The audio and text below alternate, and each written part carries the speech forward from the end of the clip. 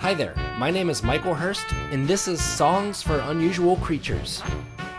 Featuring some of Earth's strangest animals, including giant anteaters, sea pigs, glass frogs, Jesus Christ lizards, elephant shrews, Magnapinna squids, and more.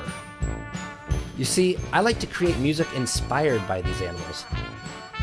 And for this series, I've brought along some of my favorite musicians to help me. Ah. And guess what? Some of them have some unusual instruments too. Songs for Unusual Creatures. Coming soon.